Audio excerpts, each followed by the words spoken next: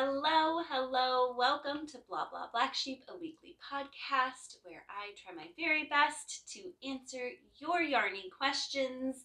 I am Sarah Korth of SEK Handmade, and I am so glad that you are here. Thank you for being here. Hey, we're going to start with announcements because we have a fun one. WIP wrap up, you guys, it's back. Um, if you've been with me since January, which I guess I wasn't doing this podcast in January. I started in March. So, uh, but if you've been following me in other places since January, you know that uh, WIP Wrap Up is a free, super casual event where we just gather as a community of crafters and gather up all of our works in progress and try to power through and get done some of those things that we've been putting off. And we just encourage each other. It's a great community building event that I like to brag on my community. Uh, they're the best. They really just are. And so you want to be a part of it for them, if not for me. So, um, highly recommend. Uh, I'll put I ha- I did a whole live video yesterday about what it is and the the rules. There really aren't any, and and all of that stuff. So and the prizes. Um, so I will uh, link to that in the description in the show notes below. I will also link to my Facebook group that you can join if you want to be a part of uh, WIP wrap up and a link to my Instagram where you can send me a message and I'll add you to the private chat group on Instagram if that's that's your preferred method of um, hanging out. So, yay! WIP wrap up is here. We're doing it twice this year and from henceforth into the future. I don't know if that's I don't know if that's how you say that, but you know what I mean. My plan is to keep it going keep it going. All right, what am I wearing? I am wearing my um, modified Levana shawl. You guys, I'm in a tank top because it's stinking hot outside. We went from like, I shouldn't have said it. It's like saying, oh, the baby's finally asleep. Yet last weekend it was gorgeousness, which I'm so glad it was gorgeous for the long weekend. But I said um, to Brian, I said, oh, we have had such a nice stretch of being able to just have the windows open. Like it's that perfect temperature where it's not too hot, not too cold. You have the house open, you listen to the birds singing. The dog is always going crazy. but I love that time of year. And I was like, we just had such a nice stretch. And then I spoke. We've been like 85 which I know for those of you who live in like real hot climates, you're like, that's nothing. But I, I live in the north for a reason. And it's because I don't do well in the heat and I don't want it. So very hot. Um, so I, I have my tank top on, but inside I'm actually debating. I was like, I don't know. inside I need a little cover, but not a lot of cover. So I'm just wearing uh, my it's almost like my shawl is my little like short sleeve top to stay comfortable when I'm here. So this is my modified Levana shawl. I'll put a link to the original Levana shawl and my uh, how I modified it. The original is made in sport weight yarn. I made it in fingering weight just for funsies. And so you can see in my project all the modifications I made, which were very minimal. So um, you can check that out. Oh, and then I got new earrings. Oh my gosh, you guys, I'm obsessed with these earrings. These earrings are, uh, typo, it says Fiddle and Grade. No, it's Fiddle and Grace. I don't know. Can you see them? They're like um, see-through. And it's like etched in the acrylic, those flowers. And so when you wear them, they just like kind of glow and they catch the colors of whatever is like, well, for me, because I don't have hair, I have hair, but not long hair, you know, like they catch the colors of whatever's behind me, which I think is so fun. So love those. We'll link those below as well. And um, that's what I'm wearing. What is bringing me joy? Um, I wanted to start this by saying that I try, I'm generally a very positive person, and I try to be two things. I try to be joyful. I, I love making people laugh. I love laughing myself. Um, I love, I really, I had an incident when I was teaching that I had a really hard time, and I found a lot of solace in gratitude. Um, and so I, it's just part of my life and who I am. But I also value so much um, honesty. If you want to know the story about what happened that made me really focus on gratitude, if you want to know the crazy lengths we've gone to about honesty being a value in our family, you can ask. You can ask, but I'm not going to go into the stories in depth right now because we're trying not to have this be too long. Um, but honesty is really important to me. And so um, it never fails whenever I'm honest about these things. Somebody says, you should just just be more positive.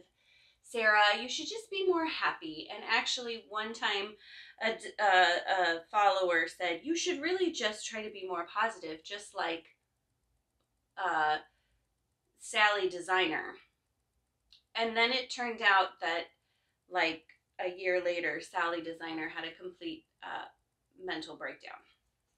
Not, and I'm not like in a facetious way. I mean, honestly, seriously, a complete breakdown. And I think that's what happens when we pretend like everything is peachy and fine. So I'm not going to pretend, I guess, is the long and short of this. I'm having a hard time. Uh, we are in a big time of transition.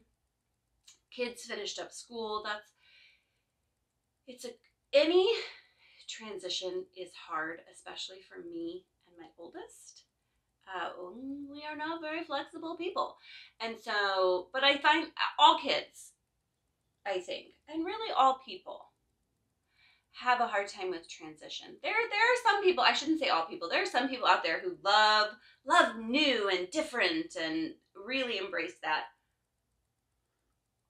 And honestly, I wish I was more of a person like that, but I'm not. And uh, again, the stuffing and pretending that I am does not help the situation. So we're in a time of transition. The kids have just finished school. My husband is transitioning between jobs. And I am currently feeling incredibly anxious and incredibly overwhelmed. Um, so I just want to be honest about that because I don't want you to look at me and say, like, oh, Sarah, she's got it all together. She's always so happy. I'm not. I'm not always so happy. And I'm really honestly struggling right now. So, yeah, I just want to be honest about that. Um, but in this time of anxiety and overwhelm and struggle, one of the things I have really been enjoying is is my plants. Um, we moved into a house that is older than I am significantly older than I am. uh, like 20 years older than I am. And um, so it's been lived in by lots of people, but the, the landscaping, someone who lived in this house at some point, I swear, they said they went to a garden center and they were like, what does this one do? And the garden center people were like, it spreads all over the place. And they said, give me two of them.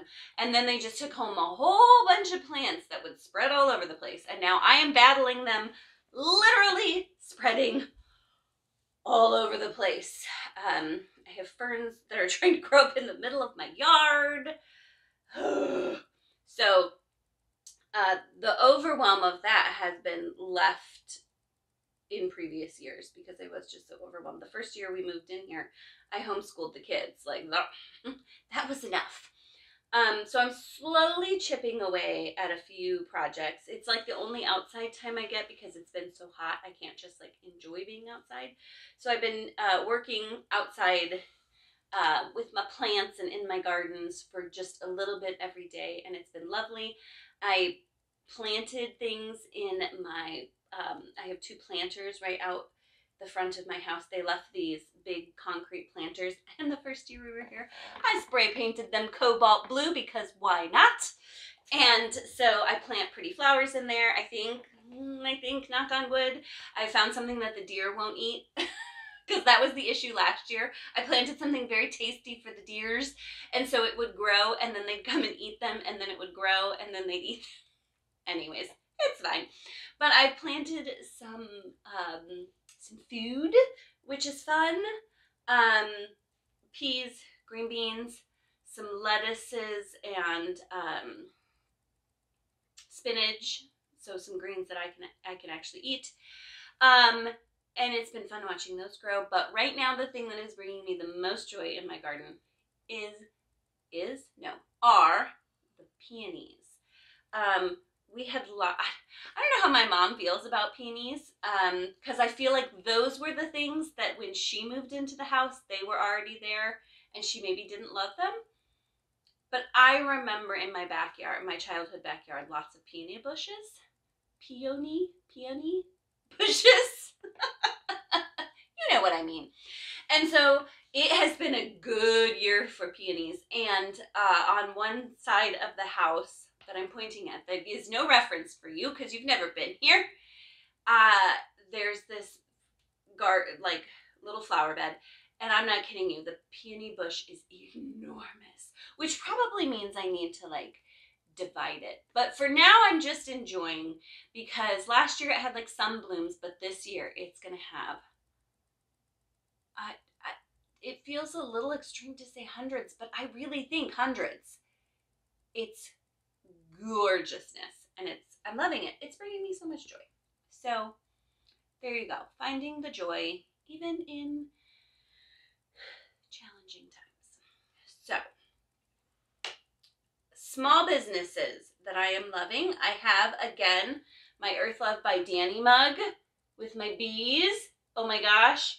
Brian was mowing the yard last weekend and he, I think he just stunned the biggest stinking bumblebee. I'm not even kidding you. It was like that big. It was enormous.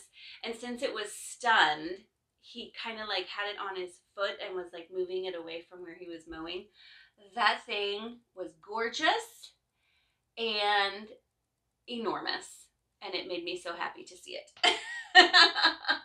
so I love my mug with my bees. I love bees. I love taking care of the bees. I love providing flowers and things in the spring for them to feed on before most flowers bloom. Earth Love by Dani Mug. Link. Uh, Dani makes all of their mugs like mostly singularly. So like that exact mug probably isn't there but I think they have other similar. So I'll link to the shop so that you can um, shop the yarn. Okay, the other thing is uh, Knitted Wit yarn. So I decided, I've been toying with the idea for years, hmm, yeah, probably years, that it would be really fun to design an advent um, a, a shawl that would use an advent kit um, worth of yarn. So I start. I've been percolating it in my brain, and I started looking through my stash to see. I did an advent kit last year, um, but it was mostly not yarn. I think there was one full skein and maybe seven half mini skeins. So they were 10 grams instead of 20 grams. So, um, so I started going through my stash and I found, look at all that. Look at all that gorgeousness. I already had 11 skeins, mini skeins that I had purchased from the Knitted Wit. Um, a while back. Just because. Just because I was like, they're really pretty and I want them. And so I got them, not knowing what I was going to do. And now they've become the perfect thing. So I had 11 full sized mini skeins, if that's not an oxymoron. Um, and then I had the seven, I think seven, don't quote me on it, seven uh, half mini skeins that I was like, that could work. Um, and then I went to my local yarn shop and she had a few more uh, mini skeins, which was interesting because they were in colorways that I normally wouldn't pick. So I was like, this is good. Get me out of my box a little bit. But I have this gorgeousness of mini skeins. And then I was thinking gray for the full skein. And as always, the wise Sarah of Casting On said, what about this really deep burgundy? And I was like, what? I already own that. it's coming up a little more red. It's definitely deeper. Oh, I don't know. It's it's definitely a deeper uh, burgundy-ish, Bordeaux-y color. Um, and so, so I'm going to use that. And so this is by the Knitted Wit. Um, I love everything she does. It's all gorgeous. Um, and I'll link below. So that's uh, a yarn dyer small business uh, for you to um, patronize. Patronize? Pa- go shop there. patronize is not the right word. That's like talking down to them. To to be a patron of. so there you go. All right. Let's answer some questions. All right. Um I think I'm going to answer these backwards. I had these in an order and I'm going to flip-flop them. So, question number one, that was question number two. All right. It says, I am so excited to join in WIP wrap up. I've gathered up my WIPs and they are more out of control than I first thought. Eek. Do you have any tips for organizing your current WIPs? And how how can I keep them from getting out of control in the future? Thanks so much for your help. All right. Um one of the things I love about WIP Wrap Up, and one of the things that, um, one of the reasons that we're doing it twice a year is one, because people ask for it, but two, I am an accumulator of WIPs. I do not keep one WIP at a time. I have been working on one WIP for probably three weeks now exclusively because it's a contracted project that's enormous and it has to get done. And people are like, oh, are you loving it? And I'm like, no, I hate it. and so in her wisdom, Sarah at the yarn shop said, of course, do are you not liking it because you don't like it or are you not liking it because you uh, like you have to work on it and there's a deadline and you have to work on it exclusively. And I was like, that. That is why I'm not liking it. It's gorgeous. It's turning out beautifully. If I was able to like, if I had the time to mix it up, I am always working on more than one WIP. And so the fact that I've had to stay solely for focused has been hard on my brain. It's been a test of endurance. Um, but I'm getting there. I'm getting there. I think I have 16 more rows, but of like 360 stitches on like the shorter row, like the fewest uh, stitch rows. So it's a little intense. Um, so I, one of the great ways to keep your WIPs under control is by participating in WIP wrap up. Every six months, you take a month to just whittle down your WIP pile. Um, but let's talk about um, organizing what you currently have. First, I, the first thing I always encourage people to do is gather up all your WIPs. So I don't know about you, but I often hide them. This this uh, is actually a bin that I took um, the perfect size cutting board for, and it's just the cutting boards on top. So I made it into a little table, but hiding underneath are WIPs. um, I, at one point, I had some on my shelves. I had some in my closet. I had some in my drawers of my dresser over there. So I think the first thing you need to do is gather it up. I know people keep things in their car. They keep things next to the couch. They may keep things in their bedroom. So like gather it all up. We can't assess until we see what's really there. So gather everything up. And then I think what you need to do is you got to assess what you have. Once you see everything together, I think it's a real good uh, eye opener to how much is there. And then um, it really helps you decide. Like when you're looking at things one at a time, it's real easy to say, I love it all and I want it all. Um, but when you see them all together, it's a lot easier to say, I love these the most. And if I'm being real honest, I'm never going to work on these again. So you gather up all your stuff and then make two piles, or maybe three. If you have a hard time committing to things, maybe make three piles. The pile that you're like, absolutely, gotta finish it, still very excited about this, put a pile there. A pile that you're like, nope, definitely never to finish pile. And then maybe there's a middle, like, well, I might finish it. I'm feeling kind of lukewarm about it. Pile. The one pile is where you're going to, the pile of the things you are still enthused about. That's where you're going to start whittling down your WIPs. The pile on the very other end where you're like, meh, frog it. Frog it, frog it unravel it. If you still love the yarn, um, put it back in your stash. If you don't still love the yarn, donate it to some place. If it's mohair, burn it. I'm kidding. I'm kidding. but you you may you may struggle a bit more to unravel that mohair. Um, so you may want to think about if that's worth doing or not. Then I want you to make a list. And on the top of the list, I want you to put the things that you're enthused about. These do not, like, just a list, no numbers. I'm going to be real specific here. Write down a list. This sweater, this shawl, this cardigan, this basket, this pillow. I don't know. Um, start the top of the list with the things you're still enthused. Underneath them, write the things you're less enthused about. And maybe put a line in between them so you remember in your brain. Then you're going to make a plan.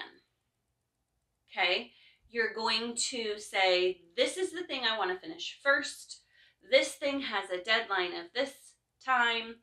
This is the thing I'm going to finish third. And once you have all your things you're enthused about organized, get to it.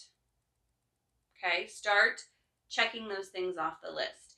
If you are a meticulous person, I don't know any of those people. Just kidding, I am one of them. You might even want to list after them like what needs to be done. Uh, sleeves, uh, weaving in ends, blocking, all of it. Just so you can like uh, get some perspective without taking it all back out of the bag. Like, um, what what needs to be done because if it's ends weaving in you may be able to you know take that along some place where you don't have a lot of focus, but you can weave in ends without like you're not counting stitches, you're not going to mess stuff up. So that's, you know, that then you'll know, oh, I'm going I don't know, to a barbecue at my neighbor's house. And so uh they don't mind if I, I sit and chat and weave in ends. So I'm gonna take that. Um you may decide like the the sweater sleeves i'm going to sit on my couch. That's going to be my thing i work on every night sort of thing. So it may be helpful to note what needs to be done. And then once you've got your plan get to your plan. Also um i like to have a container for all of my projects. Each each project i like to have a container for and i have two kinds of containers I have project bags in multiple sizes. If it's something I'm going to be taking on the go, it goes in a project bag. There are other things, okay, I'm gonna grab real quick, other things that, um, that, I don't know, I just don't think I'm gonna take on the go necessarily, or they're maybe in such an early stage that they can't go on the go. So this is a project that I have uh, that I'm going to work on. real soon, hopefully, because I'm excited for it. I just have these bins that I bought at Target. And so they're just a nice basket. They all stack inside each other. So, like, this one was underneath another basket. And I just have those, uh, if I'm being real honest, a lot of times they sit right on this chair when I'm not recording things for the podcast. Um, or sitting here crocheting. So, give each project its own space, whether it's a basket or a bucket or even a grocery bag, so that you can kind of see what you have. And you're not going to be uh, saying, Oh, I'm ready for my shawl. And now I'm like, Oh, shoot, I only have three of my five skeins of yarn. What did I do with that other one? You know, you don't want to take the time for that. So just have it all together, and then you're ready to get up, be off and running. Uh, as far as keeping things uh, organized in the future, or keeping like your WIPs under control in the future, I'm probably not a great person to ask. The, when we did WIP wrap up in January, I said to myself, "Here's what I'm gonna do. I'm gonna hang some shelves in the. I had a a very naked wall in the corner of my office. I'll have to take a picture. I'll take a picture and I'll put it here. Um, I had this naked wall, and I said, What I'm gonna do, I asked, I called my dad and I said, Hey, dad, I have this crazy idea, and I don't know if things work this way. I said, I found these really cute drawer pulls, like that you would put on a dresser, but I wanna use them for hooks on my wall if I put a wall anchor in the wall, can I screw the drawer pull into the anchor? It, does that work like that? And he was like, I probably. And so I did it. And it worked. Actually, I should say, Brian did it and it worked.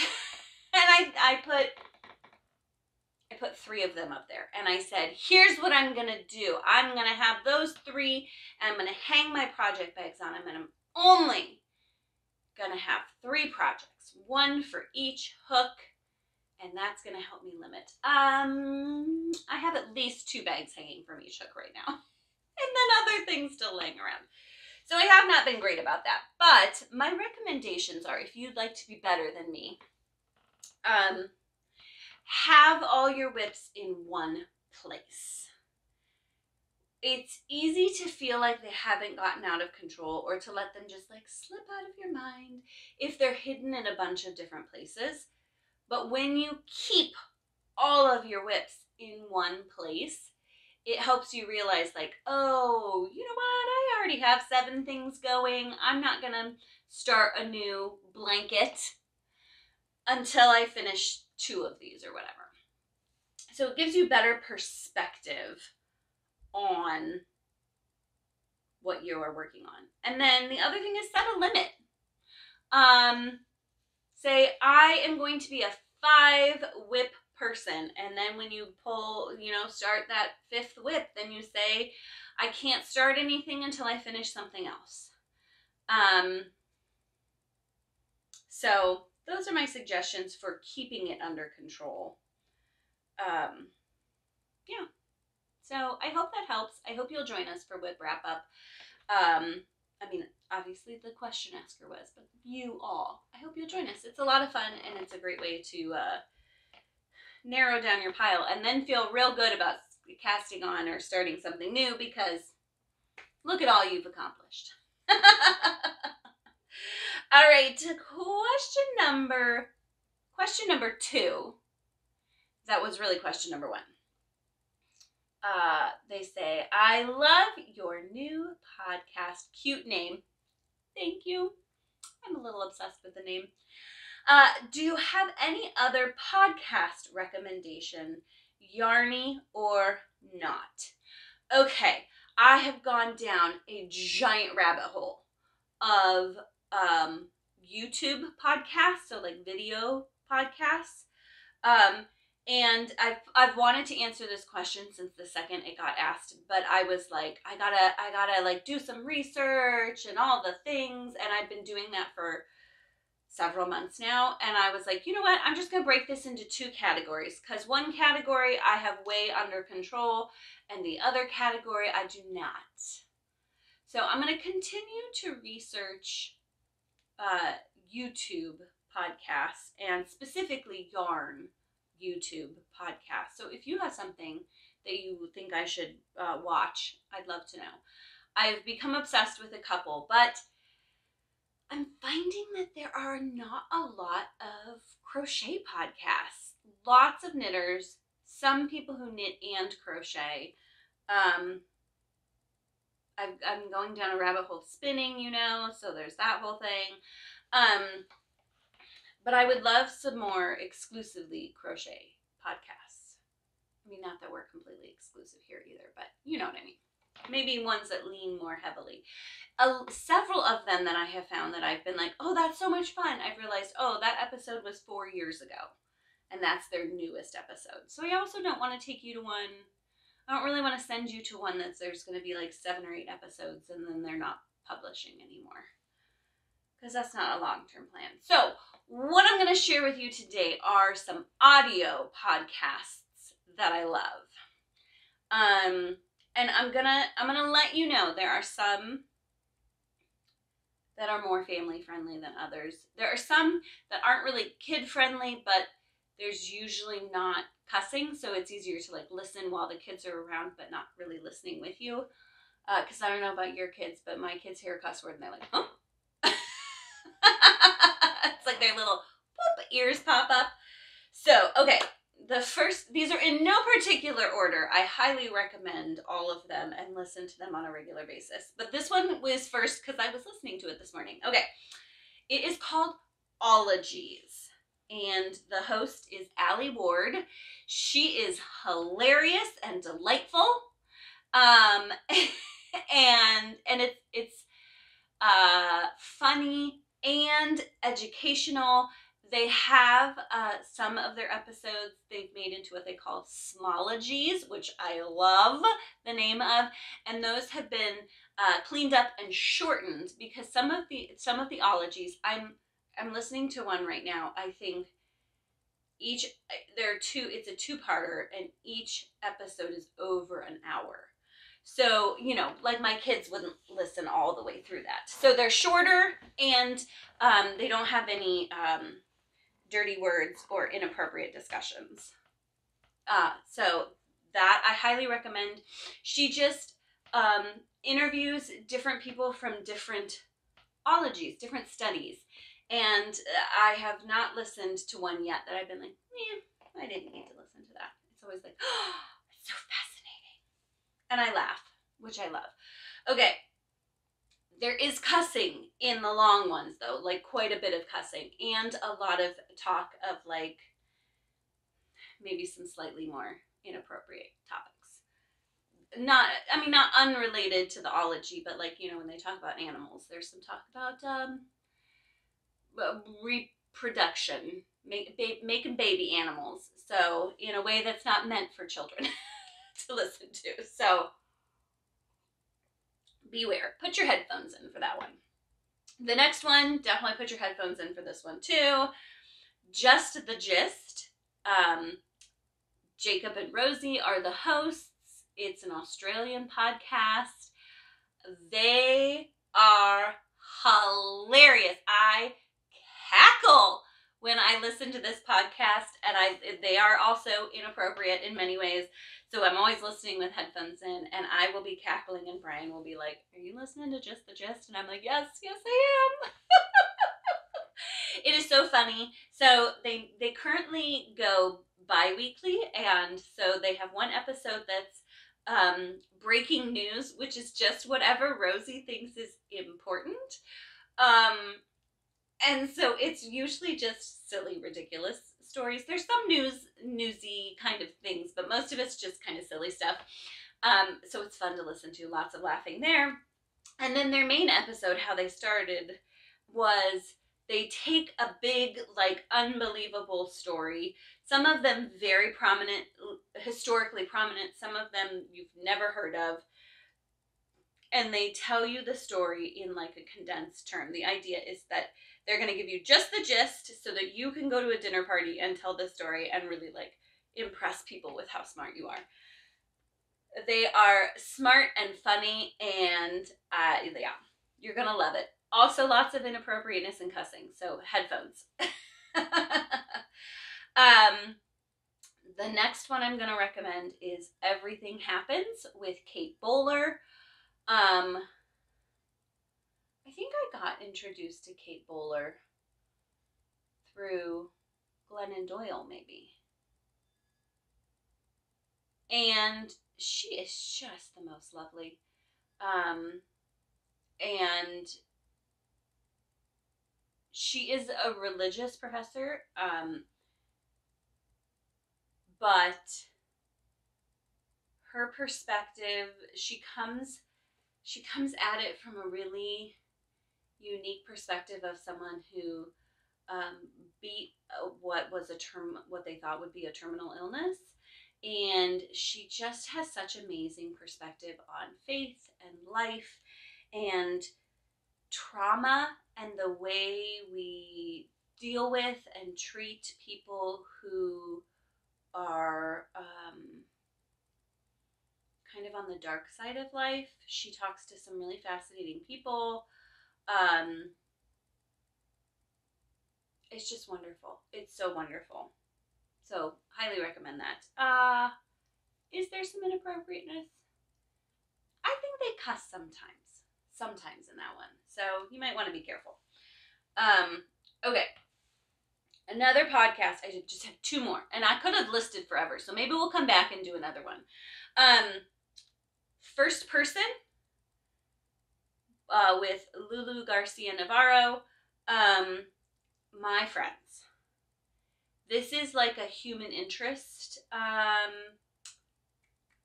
podcast. Her whole goal is to interview people and get their perspective on life. It has been one of the most fascinating and intellectually challenging um, podcasts I have listened to in a very, very long time. Um, she interviews people from all all sorts of walks of life, different political backgrounds from me, different experiential backgrounds, people who have different beliefs, and it's all in a very like civil, non-combative way. And it it's presented in such a way that it's given me a lot of interesting perspective on people who feel differently about things. And I I got to say, one of the things I love about it is I feel like I'm just going to climb up on my soapbox here. One of the reasons we are so divided right now in society is because we silo ourselves off with people who believe what we believe and um, reinforce what we are saying, and we don't calmly and respectfully look at other people's perspective. And this does a great job of calmly and respectfully looking at other people's perspective. So even though, you know, they had, uh, I don't remember specifically, but they, uh, when uh, Roe v. Wade got overturned, they talked to someone who was um, pro choice, they talked to someone who was um, anti abortion. And while my views were not changed, it was really fascinating to hear someone's full perspective on on their their work with anti-abortion stuff. It was it was thought provoking. It was really well done. I, I could go on for a while. And I think it's important to be challenged like that, to listen to other people's perspectives and to think about your own. It reinforce it can reinforce your beliefs, it can challenge you, but if nothing else, knowing people, knowing, I mean cuz I don't know didn't know this person, but kind of being introduced to people who believe and feel differently than you and have different experiences is um It expands me and makes me a better person. So I've really enjoyed that podcast. It's been challenging. Um, so uh, on to end on a more lighthearted note, um, the Lazy Genius podcast. Um, oh my gosh, with Kendra Adachi. I'm like I'm blanking on her name. I know what it is. The Lazy Genius podcast with Kendra Adachi. She has a whole oh, uh, life organizing uh, system that blows my mind every time. She is funny and relatable, and uh, ev- uh, there's value in every podcast she does. So, also recommend that one. Okay, I have rambled on.